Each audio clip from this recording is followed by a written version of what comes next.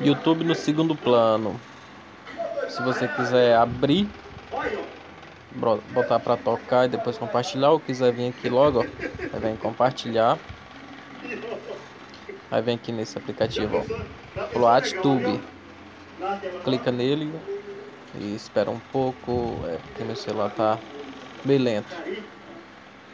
Mas é bem eficiente. Vai começar a tocar, daqui a gente já pode fechar o YouTube, diminuir o app, deixar só essa bolinha.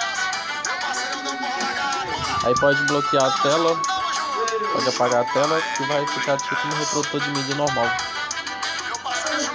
Se quiser mudar de música, abre o YouTube.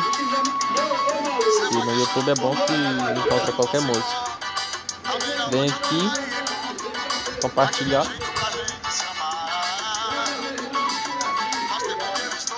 Aí de novo joga lá pro FOATTube. É só esperar aqui, já vai automaticamente para lá, já pode fechar o YouTube de novo, pode mexer em qualquer outra coisa e ouvindo aquele som.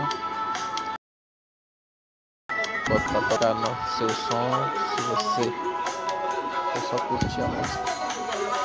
E é isso aí, muito bom. Curte, compartilhe e se inscreva no canal, beleza?